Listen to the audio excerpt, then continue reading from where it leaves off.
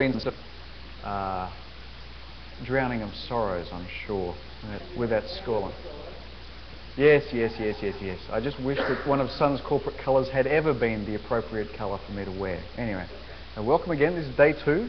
Uh, we are proudly hosted by the Queensland Brain Institute, uh, and I will just mention our platinum sponsor, Frontline, who have helped put this on. We're very grateful to them. They are running this competition. Uh, please enter it. Uh, they would like to get entries. Event sponsor, Open Solaris and Sun. Um, Deirdre here, who's operating the camera, is actually from the Open Solaris community group. So we were streaming yesterday and we were recording as well, but with the streaming we had no less than 20 people watching it all through the day, which I think is pretty fantastic, especially since we hadn't actually advertised it. Um, yeah, but it's a competition. Uh, and we don't need to do building safety instructions again, I don't think, because we did that yesterday. One small housekeeping matter, um, one uh, Dell-looking laptop for a Dell. Right. Right. Okay. Well, it'll be it'll be with me. Uh, now we are really honoured today to have Professor Perry Bartlett, who is a Federation Fellow, but most importantly, he is the director of the Queensland Brain Institute, and he's down here at the front. He's uh, going to say a few words. Um, we're really glad that you're having us here, and thank you very much. Yep. Uh, we actually need this oh, okay. the screen. Well, thanks, uh, thanks, James. I, I mean, for, for, the, I mean, a special welcome to all the uh, overseas visitors and to uh, and to the Sun uh, Microsystems people. It's an absolute pleasure to uh, to host you and to welcome you to uh, Brisbane and Australia. I'm a little uh, a little upset to hear that you've only seen only seen some of the culture. If you went to the uh, rugby last night, it's uh, it's one of the minority sports of this of, of this country. In fact, there's a much larger football called Australian rules football. You can tell I'm from from the south rather than the north, which is watched by about five times as many people around Australia. But nevertheless, uh, a biffo at rugby is probably better than, uh, oh, I don't know, a cold bath. Um, anyway, when I, when I, heard that uh, we were hosting a Kernel uh, conference, I immediately thought of the fast food industry, and uh, but uh, you've probably heard that joke three or four times before. But um, in, many ways, this institute was established to really work on kernel problems. That is, basic fundamental problems that regulate brain function. So the Institute uh, was established uh, some five years ago and we only moved into uh, this new building about 18 months ago. And uh, when we set up this uh, building, or when I came to set up this building, we really stood back and said, how can we address the enormity of the tsunami of neurological and mental ill health in our community, which accounts for about 45% of the burden of disease in Australia and the US and in most countries that is dementia, mental ill health, uh, um, uh, the whole range of gamut of disease, accounts for days lost due to premature death or to uh, time from off from, uh, uh, from work for about 45% of that burden. I mean, far greater than anything to do with, with cancer or heart disease or any of those much better known and well-funded diseases. And we stood back and said, well, the reason we haven't really understood how to treat those diseases is because we don't know how the damn kernel works. We don't know how the brain really does what it does. And essentially, we study what you guys work on. That is, how data is, uh, is, uh, is stored, uh, how it's uh, acquired, acquired, stored, and retrieved. So those questions we're addressing at very fundamental levels of, uh, of neuroscience, using animal systems from Drosophila, from fruit fly, all the way to humans. Drosophila are amazingly intelligent little animals. They learn very regularly, and you can use the genetics of Drosophila to find genes that regulate that. Uh, and even humans have some intelligence which we can, we can learn fundamental things from. These people, we've, we've uh, put them side by side. In fact, on the third floor of the institute, we have guys working on Drosophila, guys working on human, and guys working on honeybees. In fact, just across uh, the road here in a building, on top of the building across the road, we had the world's biggest uh, uh house, uh, in-flight bee house. which costs an enormous amount of money for a few bees. But again, bees have a wonderful system, as you know, of finding food and remembering where that food is and transmitting that information back to the hive such that they can fly out and find it again. So this very eclectic approach to trying to understand these basic systems of the brain is what we've built at this institute. And allied to that, of course, the big question is how we take that data, which I'll come back to in a minute, which is an enormous, amount, enormous voluminous amount of data, and build computational models that we can then test uh, to see whether this is the way the brain works or not. So again, I think uh, you know we have a, a, a, sense in common of trying to fundamentally understand the system uh, and, uh, and, and take those fundamentals into uh, aspects like trying to promote learning. You know, as you know, um, learning in our community is probably the, the least understood uh, thing. We talk about education, but education and learning are, are, vastly different enterprises, and most education really isn't linked to learning at all. So we're trying to drive these studies into fundamental translations into, uh, into education, into retraining, but also, as I said, into terms of fixing those disease processes, many of which we think are fundamentally just breakdowns in the, in the system. Let me give you a couple of snippets of things which, which may interest you about the way we learn, the way we acquire, uh, acquire data in the brain. It's very interesting in learning, one of the key, key things that we need to do as humans is to pay attention. Now, your, your, your, mother always told you this, that you need to pay attention at school. Well, it turns out it really is true. If you don't actually attend to something, that information somehow doesn't ever get consolidated in the brain. I mean, there's some wonderful, wonderful examples of this. I could show you a video of a, of a basketball game and ask you to concentrate on the guys throwing the ball and count how many times uh, the ball is thrown by the black team versus the white team. I'm talking about guys in shorts, not the colour of their skin. Um, and at the end, I'd come back and you'd all say, yeah, it was thrown 10 times and 20 times. And I'd say, did you see the guy in the gorilla suit walk through the middle of the court? Now, probably one of you here may have seen it, but 99% of you wouldn't have seen it because you were not attending. You were attending to something else. And then when you re-show the video, it's very obvious. This, this person's just walking straight through the middle of the court in a gorilla suit or an umbrella or something. So how, how that attention is focused in the brain is one of the biggest questions. It seems that we top down select the information coming in. It doesn't actually seem to go anywhere, and it's a real mystery. Although it hits the back of your retina and must get transmitted to the brain, most of that visual information is non-retrievable. It's not even clear it gets stored anywhere because somehow we're able to select that information coming in and only allow certain amounts of, of, of it to be uh, of, of, it to be stored. I mean, it's a very vital question in terms of how attention is uh, is regulated in terms of those things of, of, memory and learning.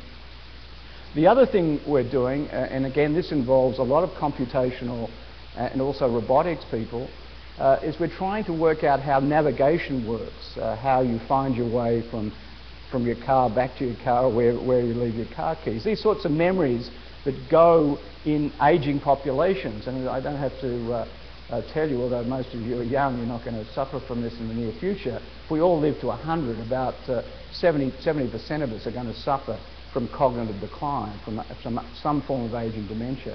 And some of you may well be living to 110 uh, in, uh, when it comes around, and almost 80% of you probably will be suffering from it.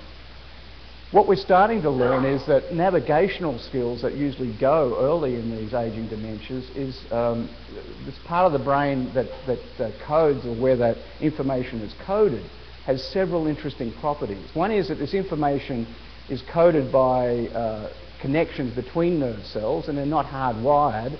These connections change in strength and, uh, and can be altered quite, uh, um, uh, quite readily. In fact, one of the features of memory and storage in the brain is that it's a very plastic process. And in fact, the plasticity underlies the memory storage. But one of the things that we've been working on for the last 20 years is, in fact, you actually make new nerve cells in the adult brain, and even in the old brain like mine, in this part of the brain that stores memory for spatial memory, especially in some short-term memory, you're continually adding new components, new nerve cells into there. And it seems the data is looking very strong and, and, some very new data I can share with you. If you stop the production of new nerve cells in this part of the brain, you in fact inhibit animals from learning spatial memories. So if you put them into a maze where they learn how to navigate based on visual cues, they aren't able to learn or retrieve that information.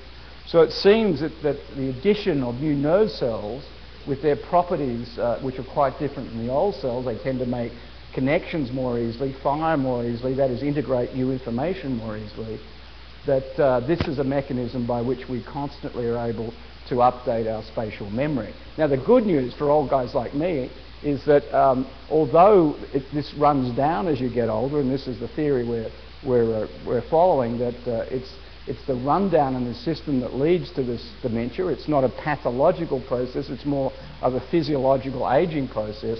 But the, the, the, hardware is still there. That is, the cells that make these new nerve cells still reside there. And we're getting very close to know how to reactivate those cells to make these new nerve cells. So there, there's hope at the end of the uh, line. I'm, we're working very hard before I uh, get much older to try and solve that, that problem.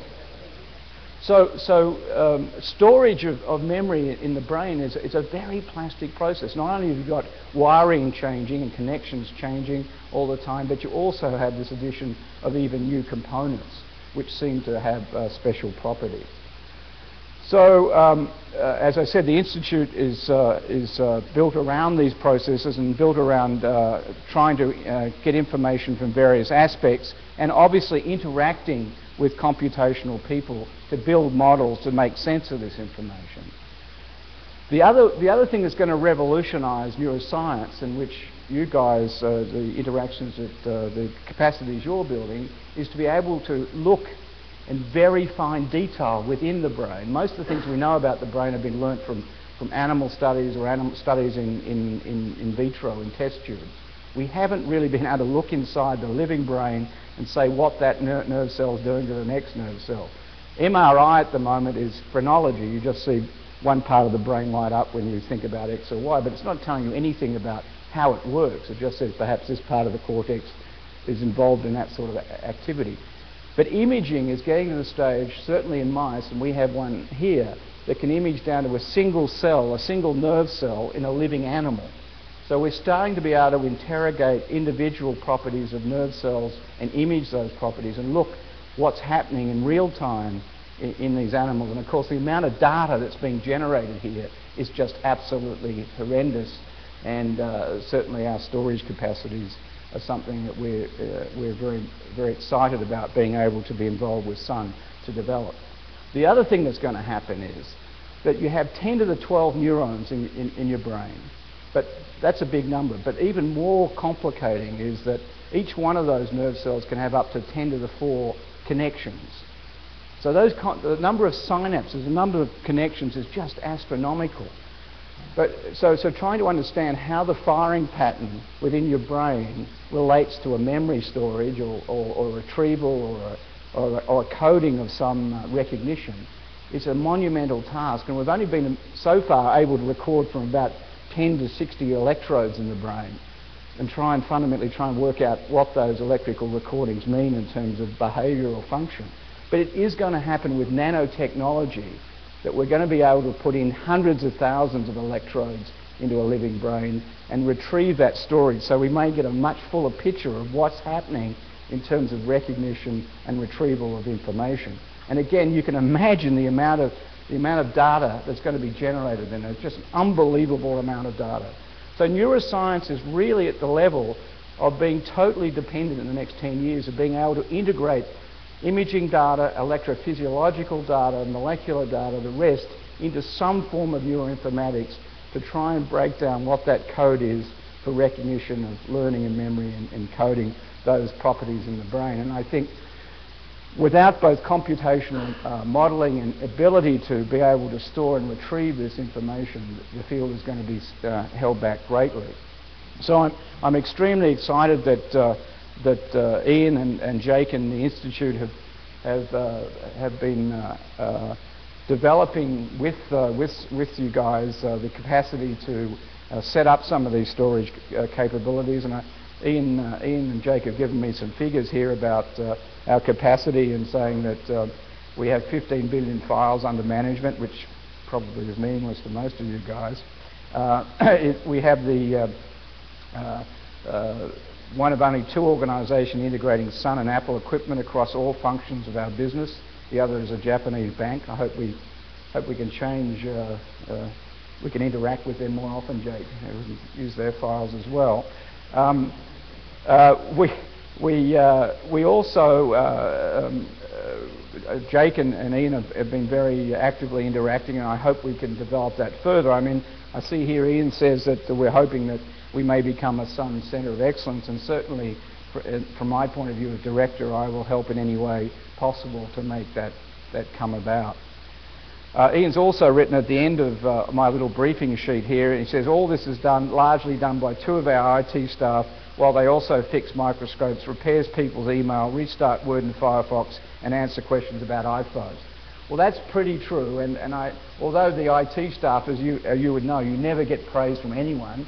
Um, you only ever get uh, rung up because uh, dumbos like me don't know how to restart the computer or something. But it's true. I mean, I'm very proud that, uh, that Jake and Ian have developed uh, a wonderful IT system within this, uh, within this uh, institute, and I'm, I'm, very much looking forward to that becoming a very integral part of, it, of going forward in the neuroscience development. So once again, I'm extremely happy to have you here. QBI is extremely happy to host you, and we hope we see a lot more of you, and perhaps an involvement in some of those uh, things we've been talking, I've been talking about over the last five minutes. So welcome once again. Okay, go.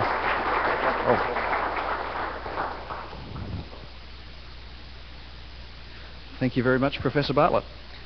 Uh, okay. Is that uh, audio coming through all right? Right. So, uh, next up we have Sherry Moore. Sherry is delivering the talk that Max Alt from Intel was going to deliver. Because, uh, well, like I said yesterday, um, they wouldn't let him fly. They said, well, stay in this room and we'll monitor your temperature and fever-like symptoms. So, um, Sherry is staff engineer, senior staff engineer, surely. Yeah, senior staff engineer has worked on the Solaris 10 projects to actually have x64 support. So without her, it wouldn't have been done anywhere nearly as good. Um, yeah, and she's done a whole heap of stuff just throughout her career at Sun. Uh, the thing that I'm that, that really I find most beneficial, I mean, apart from having x64 support, uh, is that she made a really small change to the way we um, compile out stack frames so that when you debug a crash dump, as Pramod was referring to yesterday, you can actually see the stack frame. So, you know, we lose a bit in terms of, like, you know, with GCC it'll be f-omit frame pointer. We don't do that because um, then we can't debug things, and that makes life as a support engineer, which I'm not now, but I used to be, incredibly hard. So with one fell swoop, Sherry decreased the time it took to analyze crash dumps on x64 by about, I don't know, 50%. So I think that's cool. Anyway, here's Sherry.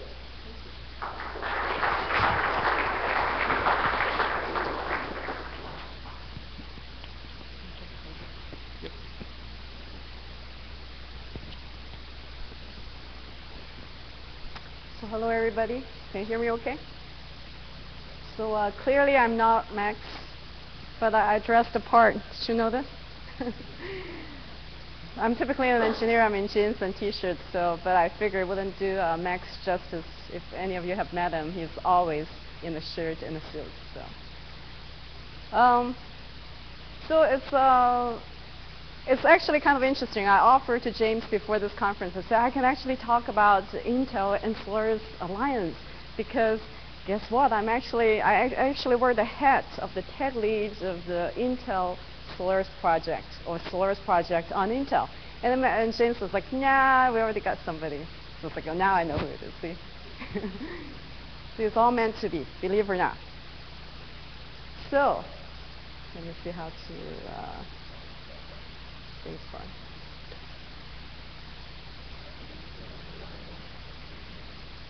Two nine, F nine. Clearly, it's not my laptop. Okay. So, so I, I saw these slides and uh, about at 5 o'clock this morning. I woke up at 5 o'clock this morning. I looked at the slides. So I might need to um, actually skip a few of them because uh, there are about 36 and I think it's up now I have half an hour. But I will first of all tell you a little bit about the Intel processors and servers, why it is so cool, why Sun would like to align with them. And second, what is, why is Solaris so cool? Why does Intel want to do anything with us? And then we'll move on to the actual uh, collaboration that got kicked off around January 2007. And since this is a technical audience, I'll move on to all the key development areas. Uh, I'll actually walk through most of the stuff which is actually done by my team, um, the ones that I'm familiar with. And uh, you can stop me anytime. And if there's a particular subject that you're more interested in, feel free to interrupt me, and I'll go into more detail. And then, of course, you know, call to action.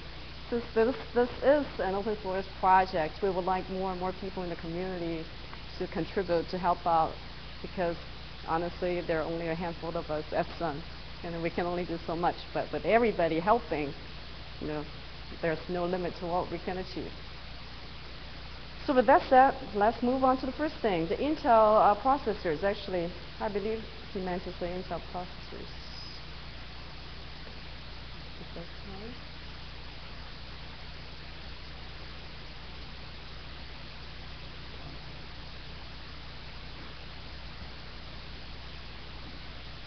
Can everybody see that okay?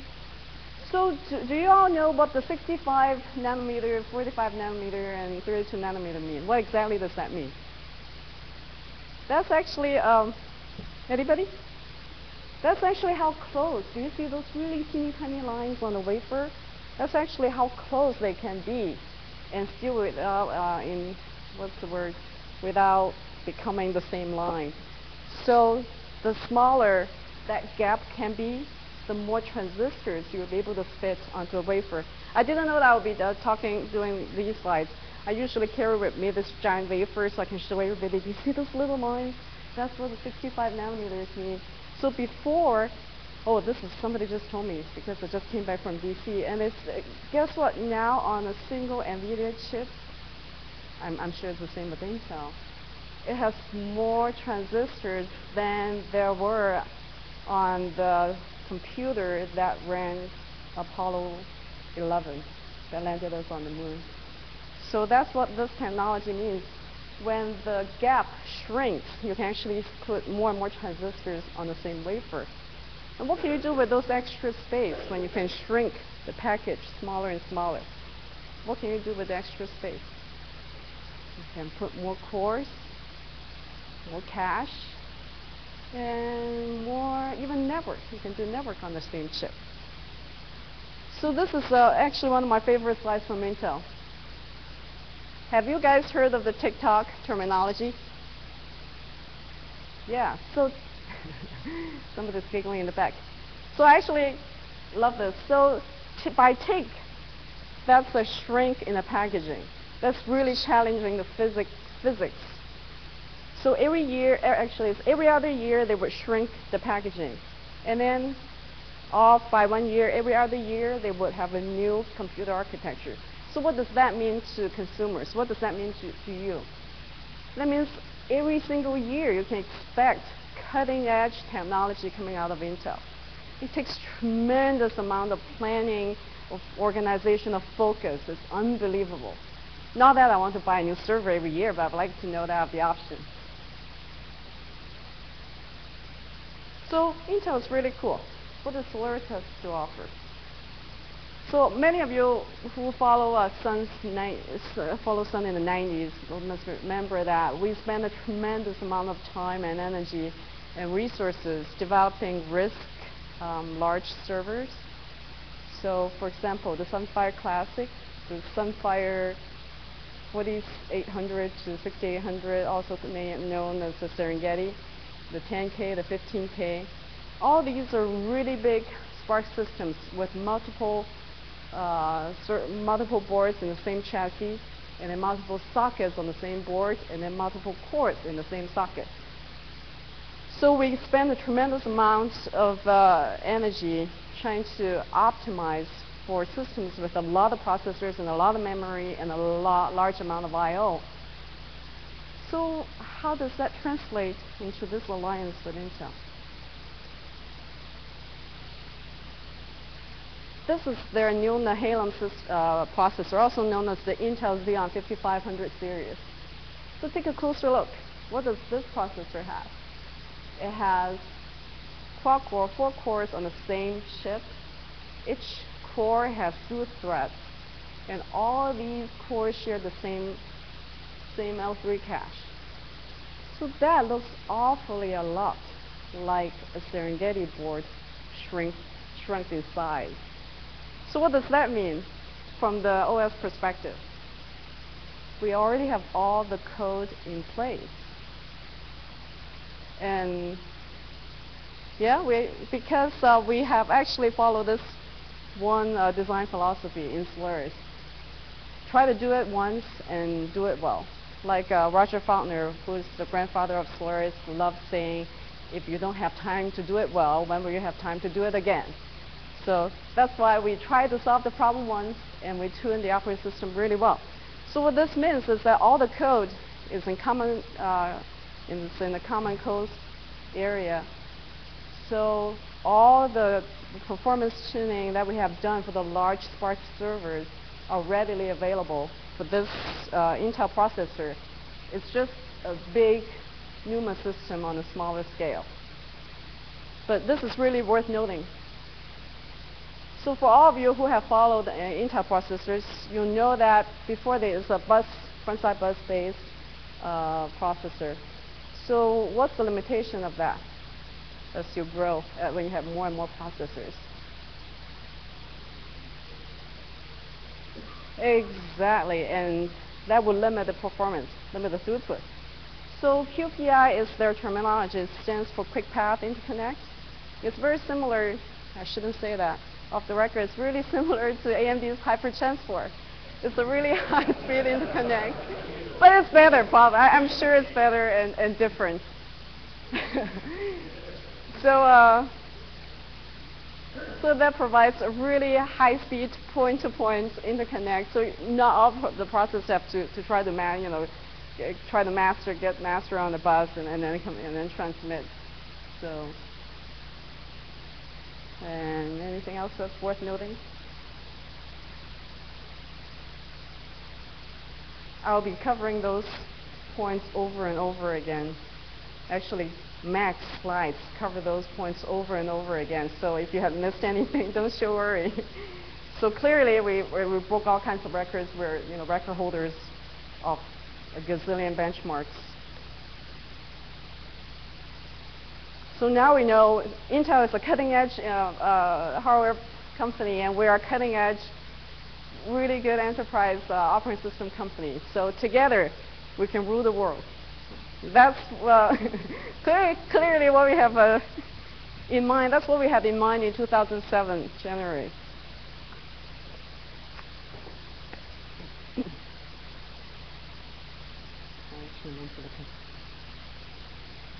So now, now that both companies have uh, realized that, you know, together we can do so much, we kicked off this uh, th this uh, co uh, cooperation. This, that's actually a really, really cool poster that we did for the Nehalem launch. I think I can see my name on it somewhere. so I had this poster outside my office. I told everybody, if you have worked on anything on Nehalem, come by and, and sign the poster. We are going to, you know, we're going to put it everywhere and, and show people what you have done because this is a true co you know, cooperation between the two companies. So if you have, uh, later if you, when you get the slides or even right now, you can see that's the chip and we just drew off everywhere saying, see I did the fast reboot and some somebody did the uh, IOMMU, IOH. So we, we really had tons of fun. We're really, really proud that you know we have contributed and made this into a really success a story. So of course, Intel would like to tell, would like to remind us that they have contributed and consulted on all these areas. You know, it's not just the front engineers, and we acknowledge that. I think most of you here are not, um, are most of you here familiar with our, our development model? How, what the relationship is with open source and, uh, okay, so somebody's uh, shaking their head. So the way we develop with Intel is that we have an Intel platform project under open source. So we have a project gate there, so both Intel and anybody who is interested in contributing and some engineers can all put back to this gate. Unless it's a hidden project, which means that it's something that Intel has not announced yet, so we cannot put it in the public. So you can see those purple ones, you know, one is the Intel platform uh, project A that's open to everybody. The others are the uh, hidden ones that contains Intel proprietary information that has not been announced yet. So once uh, we have decided that this information can be made public, and then we will put it back to open source. And then based on customer needs, actually Intel always, always wants everything, you know, back for this. So pretty much everything that we did is has customer needs, and we'll pick those out and we'll backport them to the Solaris 10, which is the currently shipping commercial uh, Solaris. So this is our release model, and it has been working really, really well. And I encourage all of you, if you would like to develop for uh, Intel, develop anything, just you know, join one of these alias, pull over a gate, and you can put back. We can bring into the Solaris for you. We would love to see contribution from the community.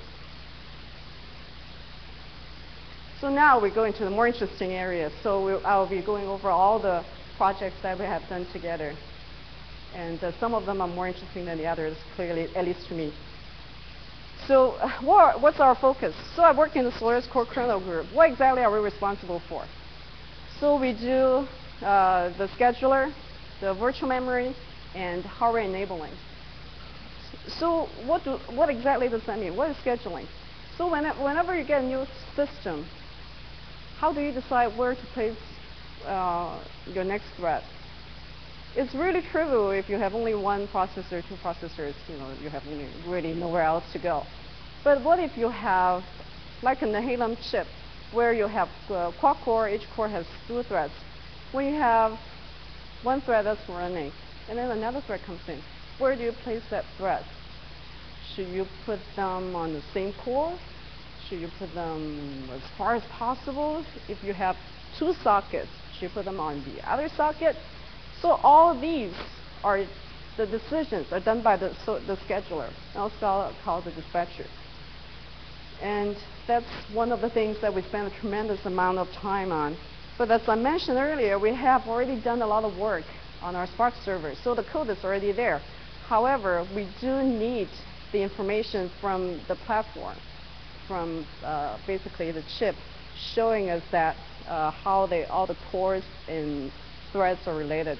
For example, we need to know that CPU, virtual CPU 0 and 1 are actually sharing the same execution pipelines so that if I have two compute-bound threads, I don't want to put them at the same, in the same uh, core because otherwise they'll be fighting with each other.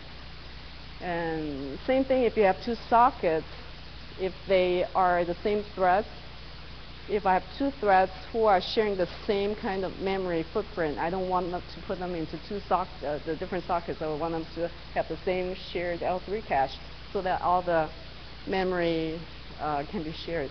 All the information can be shared. So the other one is um, NUMA. Once, when you have, when you first create a thread, you allocate a bunch of memory for it. And then later when you want to schedule this thread, where do you want to put it? Now that you already have a warm cache, you definitely don't want to move it to the other socket. So the, all those decisions are done by the scheduler and work working with NUMA, so-called the CMT uh, architecture. So all that is done by the, by the core kernel team. And the next one is, oh, observability tools. That, that's actually one of my favorite ones. Uh, I, I, this uh, was a story that told to me when I was in college. Uh, they said this was uh, with AT&T because at that time we had uh, AT&T over, and he said uh, one day the customer called saying, you know, my system doesn't work anymore. Can you send somebody over? And AT&T said, no problem. They send somebody over. So this engineer, you know, came over, sat in front of the monitor, you know, looked at the with a bunch of displays, typed one line of command, And poof, the whole system worked. And then this customer was like, oh, you're so good. I'm so happy. Thank you, thank you. And how much do I owe you? And then the engineer wrote, $100,000. So the customer was like, no way, you just type one line of command. Why should I pay you $100,000? And then he said, give me an itemized bill.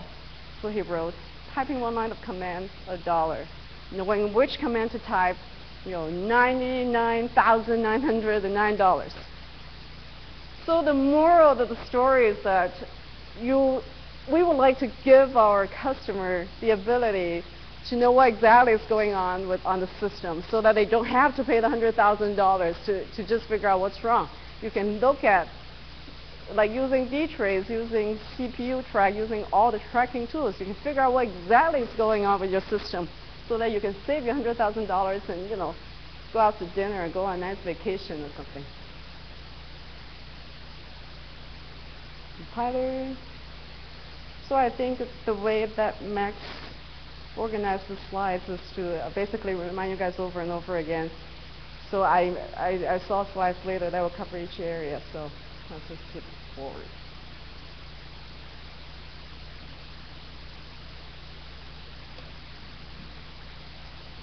Okay. So this is a really, really good slide. I think this is actually a really good summary slide. So I'm going to spend a little bit of time here.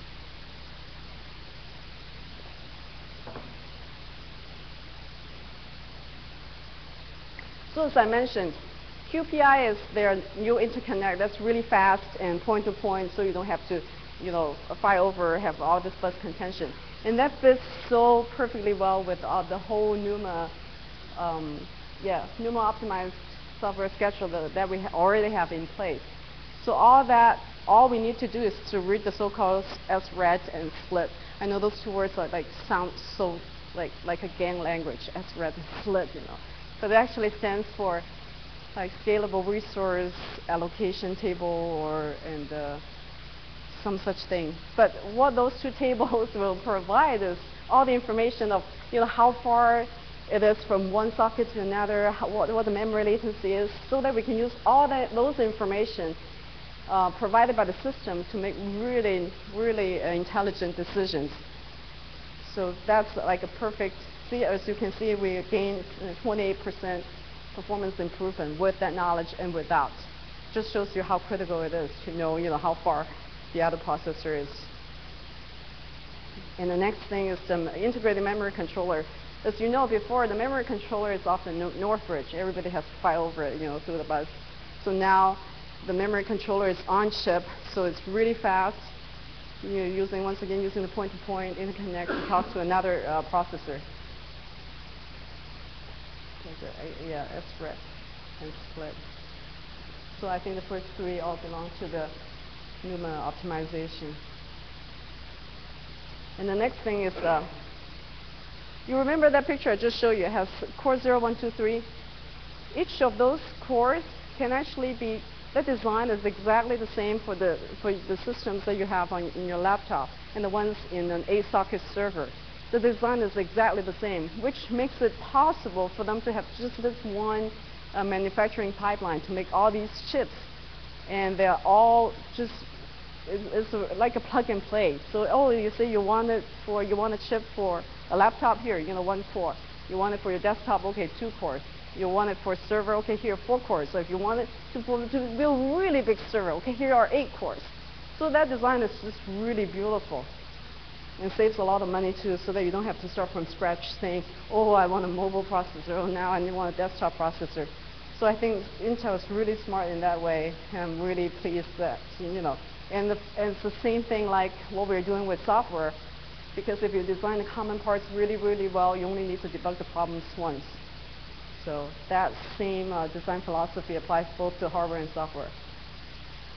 And there are a lot of, I have some slides, I don't know if I have time to go over it. For power management, we definitely have the most, uh, most intelligent power, so-called power aware dispatcher in place now that, that saves a tremendous amount of power that um, works really, really well with the new Intel's C-state um, power management technology. With every new processor, they have to introduce some new uh, new instructions. Otherwise, you know, why would people buy it? but you know, at this particular case, there's one instruction that's of great interest to us, especially the iSCSI folks. It's the CRC32 uh, instruction because the iSCSI, the whole stack, they actually use that instruction. I mean, not that instruction. Use the CRC32 functionality functionality all the time. So we just did a really quick. At the time, as soon as we saw the instruction, we had the iSCSI team did a prototype to see to see you know by using the instruction how much power they can uh, how much the CPU utilization they can save and then 10% you know decrease immediately. It's, it's unbelievable. What that means is that the CPU can just issue that one instruction instead of having this big long routine to calculate CRC32 so the CPU is not busy all the time. And when the CPU is not busy all the time you can power it down so that it can save power. So that 10% decrease also uh, translates to a lot of power savings. So, all kinds of cool stuff. Any questions? This is re repeating what pretty much what we have said.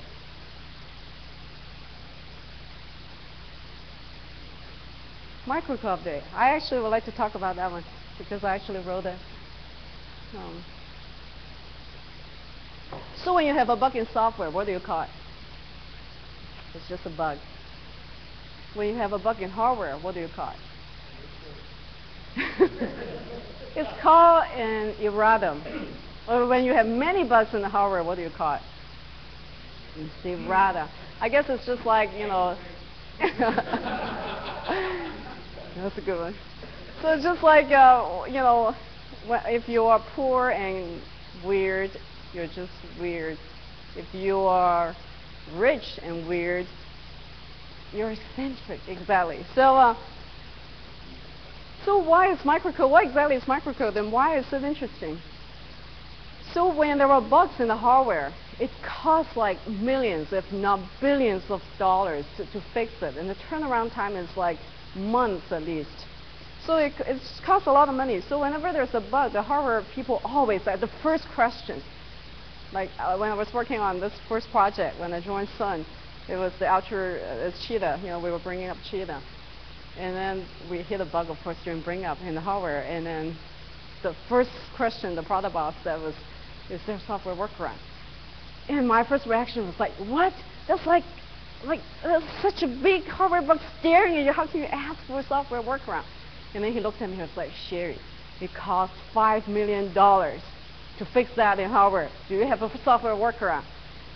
So we were like, yes, I guess we could have a software workaround.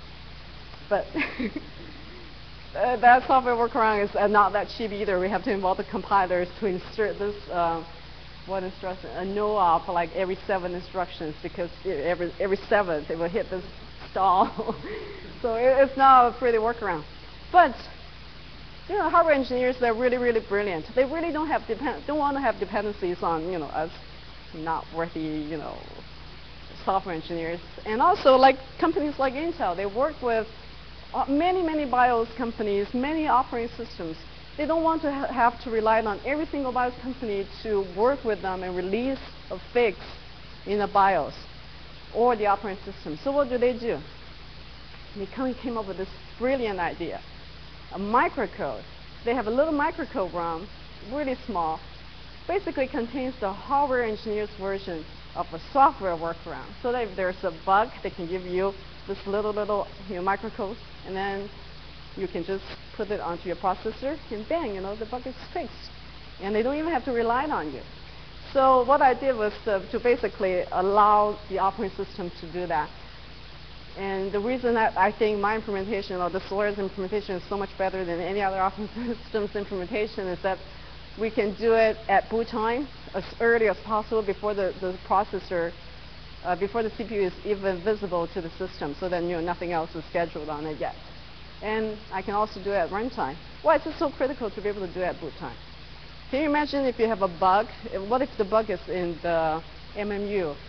The first time you enable the you know, the MMU uh, something. If the bug is there, it's so severe, I think they will probably recall the processor. But if they would really like to work around it, if they give you a workaround, they would like you to execute that as early as possible before anything is scheduled to run on that processor.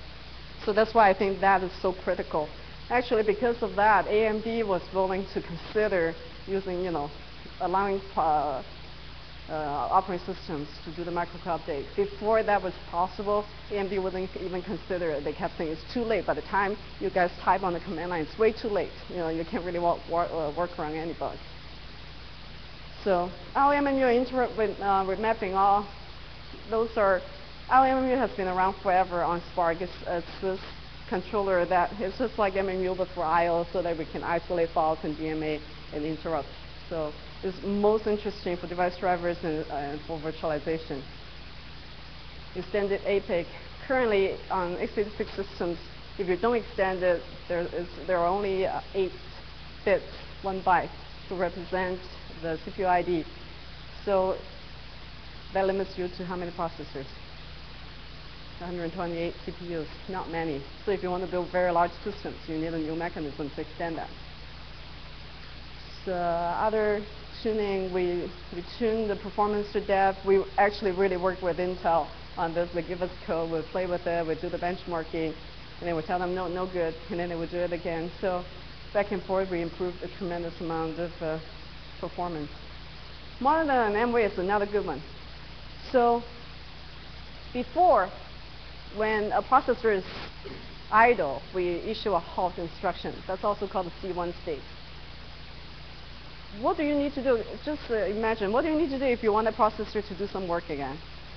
So since it's halted, so first of all, the unhalted CPU will have to go stop whatever it's doing. First of all, stop everything and then poke it. Come on, wake up, wake up. So that processor will have to say, oh, okay, I'm awake, execute something in interrupt context, and then go to do some work. So both the CPU that's poking the halted CPU and the halted CPU itself will have to basically waste time to, in this interrupt context, just to get work done. So a monitor and M-Wait is a really, really versatile SSE3, I believe, instruction. What that instruction allows you to do is that before a CPU goes to sleep, it will just say, I'm interested to seeing any transaction to that memory address. So if anybody touches it, you can specify read or write, wake me up. So and then it will just go to sleep. And if it hasn't been woken up, say for a while, it can go to deeper and deeper sleep states. So that saves more and more power. And as soon as somebody, so if you want to wake up that processor, you just need to touch that memory area, and it will bang wake up and start executing code. So it doesn't have to do anything in interrupt context. Really good instruction not only we save uh, improve performance, uh, we save a tremendous amount of uh, power. So really, really good for laptops.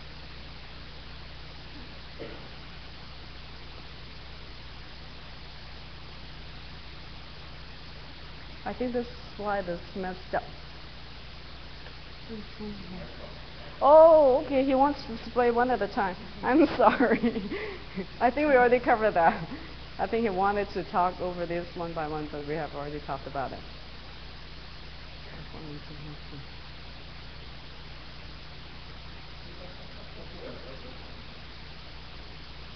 Oh, it's one slide. Just took a while to load.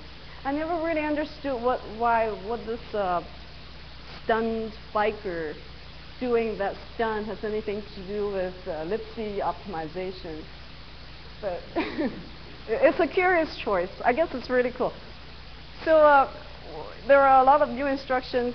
So we worked with Intel, you know, improve the libc uh, performance. So now we have so-called this hardware capability. We can look at using CPU ID instructions and look at the processor and say, are you an AMD? Are you um, not even necessarily AMD and Intel? Are you SSE uh, compatible? Uh, do, are you capable of SSE? Are you capable of SSE2? Are you capable of SSE3? And then we dynamically mount the right libc for the best performance.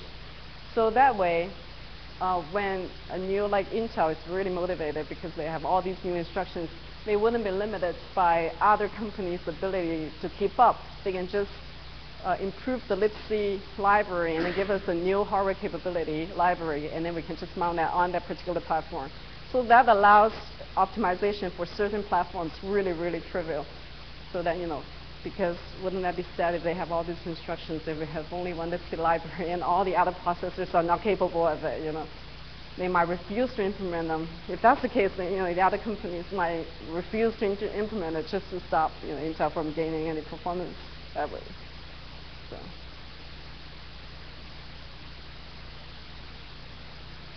This is a really good one. I actually have a, I don't have time, I guess. I have some really cool slides that uh, about the power aware dispatcher. Okay? Yeah. I can probably just talk of this slide.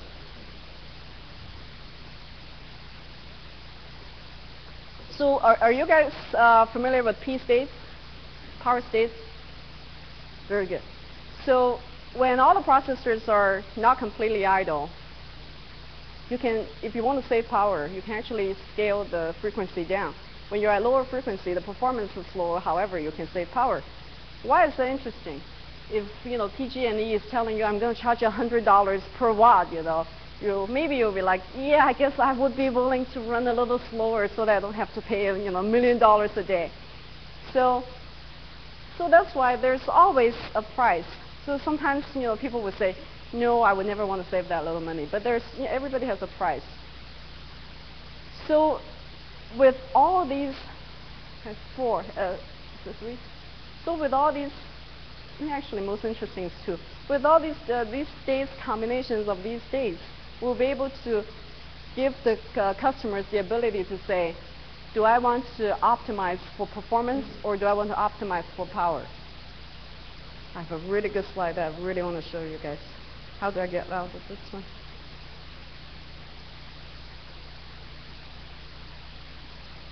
Can you bring up the tap slide?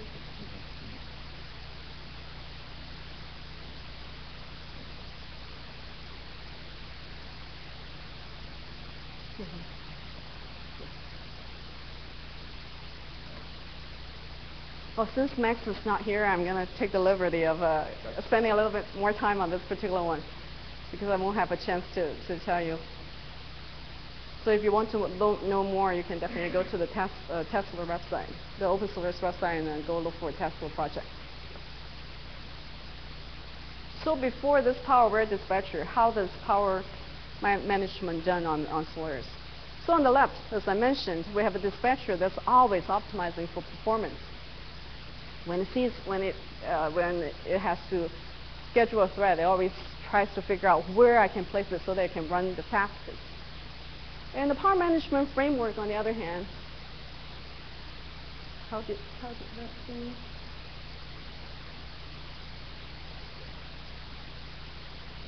The power management framework, on the other hand, is always trying to say, can I power the system down? Can I save some power? Can I power the system down? So before power aware dispatcher, what it does is that every 15 seconds also, it will go look and say, are you all idle? Yes, you are. I'll power you down. And it won't, won't look at it for another 15 seconds. So if you have some threads that has to run, you'll be running it like the lowest possible, you know, uh, speed, and it takes forever for the power management framework to wake up and realize, oh, I actually need to wake up. There's like this trading thing that I must do, you know. But you know, by now, 15 seconds later, whatever money that you were hoping to make, you know, is all gone. So it's not working really well. So what's the objective? So in the age of team, at the age of uh, teamwork, uh, not teamwork, teamwork, you know, all these uh, so-called individual heroism is no good, must go.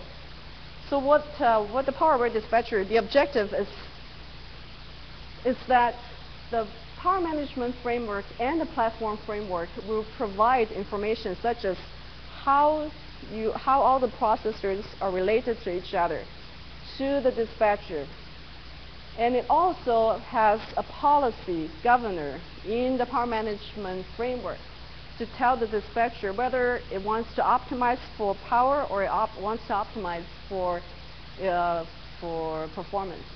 So that way, since it's all po uh, policy driven, the customer can specify it to their heart's uh, content.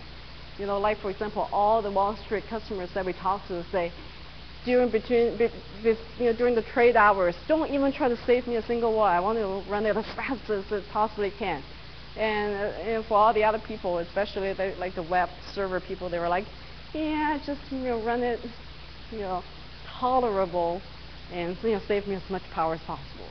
So, so that the right side is the policy governor, and the left side, the kernel, uh, when it places a thread onto the dispatch queue, it will notify the power, the, the, this policy governor to let them know, yes, you know, now you have work to do. No, now you don't have work to do. Now you are totally idle so that you can do whatever you want. So, so that's the objective of, the, of this uh, power aware dispatcher.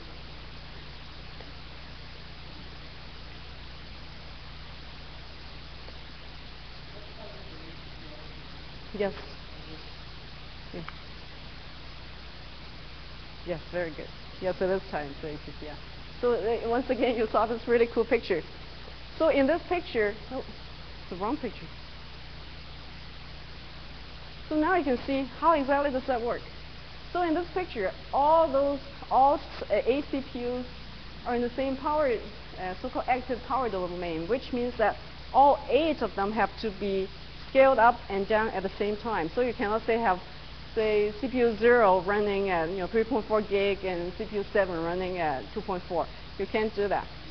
So that's uh, why all uh, eight of them are in the same so-called active power domain. And Core 0, they share those pipelines. So all those information are for the dispatcher so that it knows that when you have two compute bound uh, uh, threads, you don't place them on the same core. And the bottom is the C state, also called the idle state. So what that shows is that each core can go into a deeper C state together. So what are the different C states? They are the also called the idle power states. So C0 is like running, you know, 100%. C1 is when it's running hot, or monitor M-Wait, you know, the equivalent. C2 is when you actually turn off the clock. And C3 is when you not only turn off the clock, but you can power off some cache. So as you can tell, the deeper C states you go, the more power you save, but at the same time, it would take longer to get out of it. So it's a balancing act. You have to be really careful under what circumstances you will want to put them into a deeper C state and when you don't want to. So all that is also uh, governed by a so-called a workload um, characterization, which is still ongoing. It's, it's going to require a tremendous amount of work. It's really interesting. If any of you want to participate, go to OpenSolaris and take a look at the Tesla website. It's really interesting work because how do you know? How, how do you know how long a thread will run? Or is it a transient thread? You know, it just run for a split second and it disappears? Because if that's the case, maybe it can just run at a lower speed. There's no way, no need to bring it to the top speed. So all those are just research areas that we really need to spend more time, you know, to study and characterize, so that this this uh, whole policy, you know, driven model will work really well. Because on one hand, you know, we, we would like the customers to have that ability, but on the other hand, we would like to be able to make intelligent decisions for you, so you don't have to fine tune every single thing. Yes.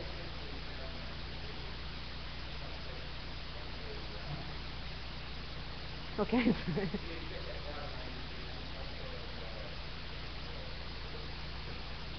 the which do I expect which one to be a subset?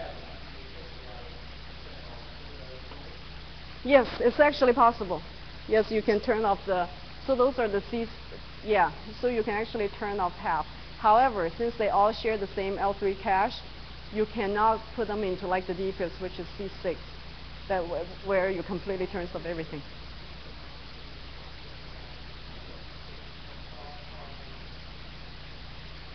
So uh, back to that slide, there's some hardware uh, interfaces, like the ACPI interfaces. That's well, actually what we call to turn them off.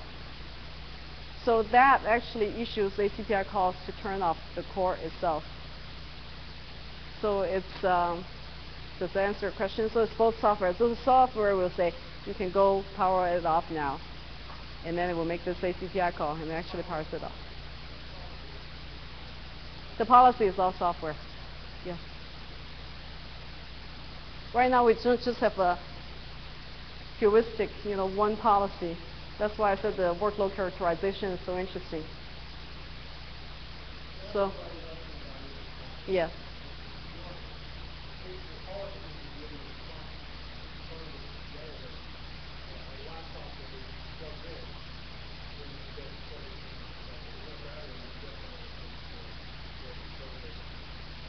Yes, definitely. But I think currently we only have one policy, that, that which is why it's still an ongoing project. With,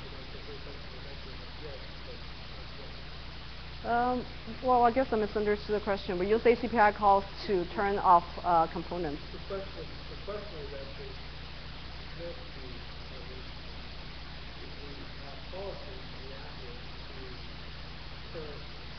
that the, Okay. So the question was, does the policy react to the current ACPI events, uh, ACPI events currently? So the answer is not yet. Sorry about that. Misunderstood your question.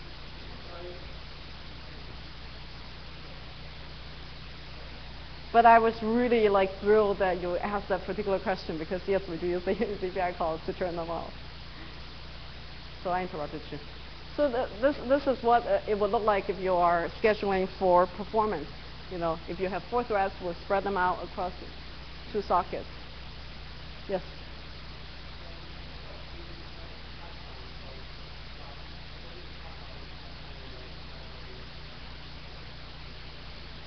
You can have two threads running on that. However, if they are hyperthreads, they share the same execution pipeline, so effectively only one can be executing at, at one time. So that is designed, that's like that kind of design is best for if one thread tends to block on a memory access, so it, it will stall anyway, so the other thread can actually use the pipeline. But if both threads,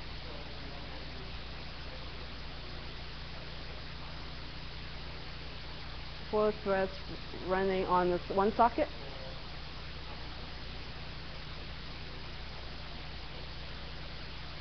That's correct, yes.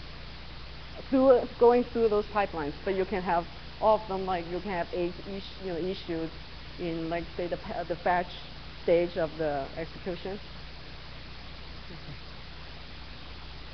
So this is how you would uh, schedule it for performance. If you would like to schedule it for power, you will, you know, if you would like to be able to say put that whole socket into really really deep uh, C states, you actually place them uh, all on the same socket. So all that is governed by the uh, policy. So it's very interesting. And you might ask, how much power does it really save you? So this is when we're running SPECjbb. So when the uh, system is idle, we can save about 50, 60 watts. So that's like 40, 40 percent, 30, 40 percent. What does it mean by 100% throughput? If it's 100% busy, how can you possibly save any power? So if you read that again, it says at 100% throughput, which means that that's as high as it can ever go. But it doesn't mean the CPU is like executing at 100%. So the CPU will still stall to say for memory access and, and such. So that's that's why when I first looked at the number, I was like, what? Have 100%? Are you kidding me? You're still saving power? But see, even at 100% throughput, we are able to save how many watts? 20, 30 watts? Not bad, huh? So, so back to the uh, the other one. I think I'm out of time.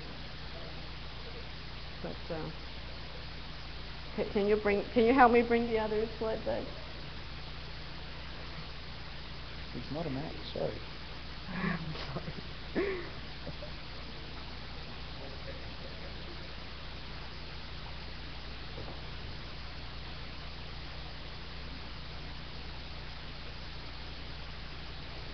But, but I'm very close. I think I cover all the most interesting uh, key, the key points that we, we have been working together for.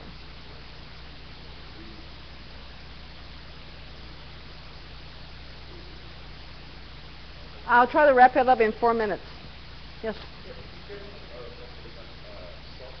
Yes. Uh, when you have more uh, memory shared between the four threads, so for example, a database serial that's going to be hitting the, the uh, that source, uh, and that could possibly be in orbit LC count. Better to run all the threads one. So is there any um, extraction metrics that you to reset the threads? That's an excellent, excellent question. So the question is, what if I have four uh, database threads that are sharing a lot of data? So if you can actually fit all that information in L3 cache, it's better to put all those four threads on the same socket. We actually do that, and that's in the picture, I, I probably didn't show you, but the two sockets, they're actually two different NUMA nodes. So when we allocate the threads originally, if they all four are allocated on the same socket, okay, I will, I will refine my uh, statement later. So they will try to stay home, so-called, stay in a home L group, localization group, pretty much as long as they possibly can, unless that all those uh, processors are so busy that there's no chance for them to run. They would move. Right, but-. Yeah, but they will all try to stay home. Yeah, but they will all try to stay home. However, the question really is, so once you have allocated, you'll try to stay home, no problem. But uh, when you're first uh, allocating them, when you're first putting them on the CPU, where do you place them? That's really your question, right? And that's why this workload characterization is so critical, because right now we don't know. We actually try to spread them out, and as a result, we are seeing degradations for certain performances. But it's really hard for a general purpose dispatcher to make that kind of decision that will work well for pretty much any uh, application. So that's why we would like to have a, this so-called workflow character characterization project is that we would like to capture the, the way that certain workloads work and then recognize that next time when that kind of threats come in that we'll know, oh, this type of threats will tend to share a lot of data. And if the data is, you know, can all fit in L3, it's really beneficial to place all of them in the same socket.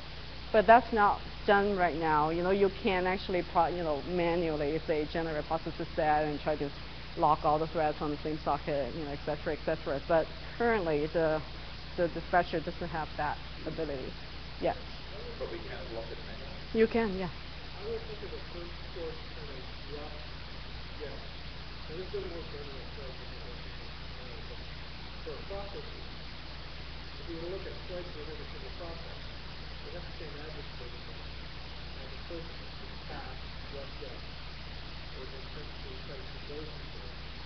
Yeah, I think for, yeah.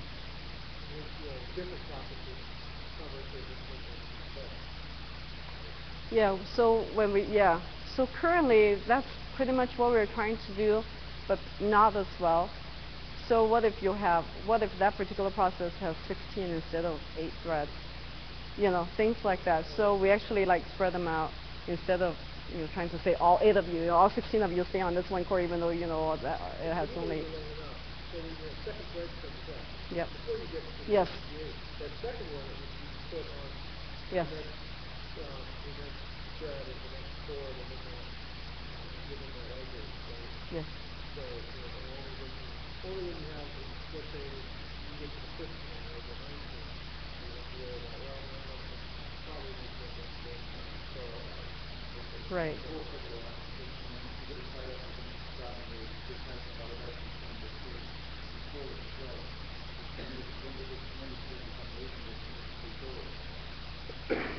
Yeah. So it's, it's a tricky, it's really difficult to find a policy that works well for all benchmarks. Like that sounds really, really good, but then like when they put some, yeah, some benchmark on it and it just like, that's like terrible and so, yeah.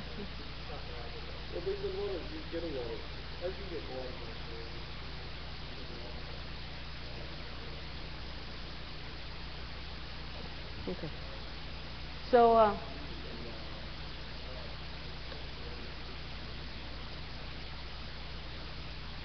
yes, so, so yeah, let's, um, let, let's take that offline so that I don't keep everybody here. And I'll try to run through the rest to see if, uh,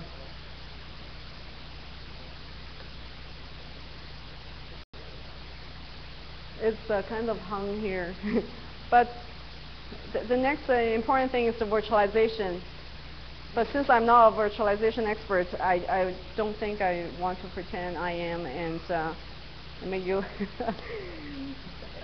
but uh, the new Intel processors does offer all kinds of hardware support for uh, for entering exiting XMM mode, so it's much much faster than all the emulated uh, implementation. So there were a lot of, uh, Max has a lot of slides on virtualization. You guys are all welcome to look at them. And if you have any questions, feel free to send James or, me email, and I can direct you to the right group.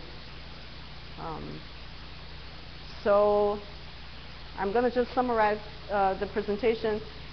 So Nehalem and open source, especially open source, because all the new features were first going to open source. So Nehalem and open source is a really, really, really good combination. And this is, let me give you an example why I'm a true believer. So currently, I, so I maintain a bunch of build servers uh, just so that I can, uh, you know, I can sort of see how our customers feel, you know, managing the system. So before Nehalem came out, I have a Galaxy 4 um, M2, what's that called? 40, uh, 4600 M2 system with quad-core processors. So I have 32 CPUs.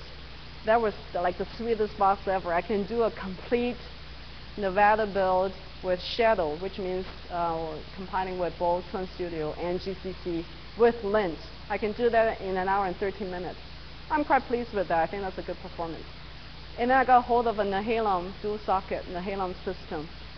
And guess how long it took for the same operation? 48 minutes. So currently it is the record holder in my book.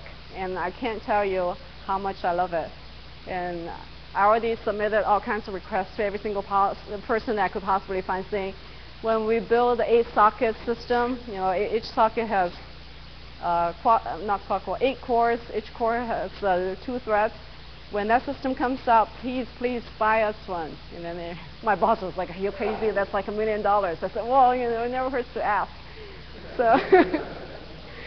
so uh, if you guys are in the market for build server, definitely do some evaluation. I really I think it's really truly an amazing box, an amazing technology. So thank you very much. I hope I do, uh, I, I did Max justice. All right, thank you. Thank you, Sherry.